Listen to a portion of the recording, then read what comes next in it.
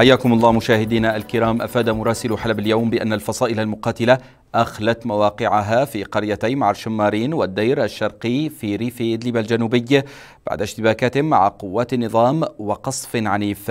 من جانبها أعلنت الجبهة الوطنية للتحرير سقوط عدد من الضحايا بين قتلى وجرحى واعطاب عربة نقل جنود BMP لقوات النظام إثر صد محاولة تقدم لهم على محور أبو جريف في ريف ادلب الشرقي.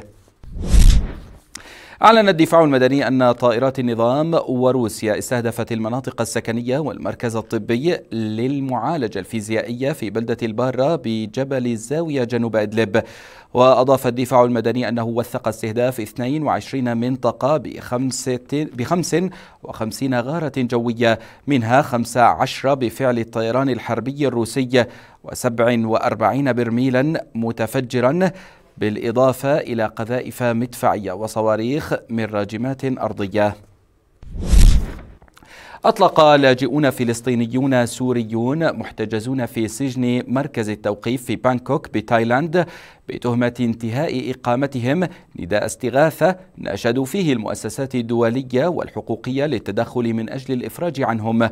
وأوضحت المجموعة من آه، مجموعة العمل من أجل فلسطينيي سوريا أن السلطات التايلاندية لن تطلق سراح اللاجئين المحتجزين في سجونها إلا إذا تم دفع الكفالات لهم أو تم توطينهم في دولة أخرى أو ترحيلهم إلى البلاد التي جاءوا منها.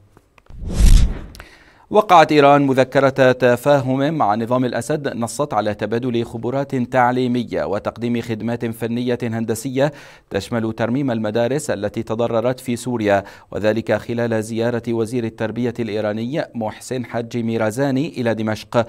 وأشار ميرازاني إلى أن إيران مستعدة لإعادة بناء وتجديد المدارس التابعة للنظام مقابل إدراج اللغة الفارسية في النظام التعليمي بغرض تعميق وترسيخ أوجه التعاون المشترك بحسب ما ذكرته وكالة أنباء النظام سانا. أعلن وزير الصحة التركي فخر الدين قوجا ارتفاع أعداد قتلى وجرحى زلزال ولاية ألازيغ إلى 791 شخصا.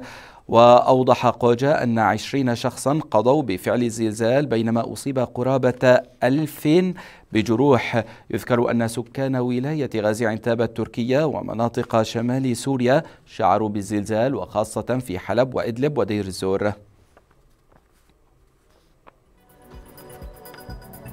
نهاية الموجز مشاهدينا الكرام تتابعون الآن برنامج قضايا دمتم بخير وإلى اللقاء.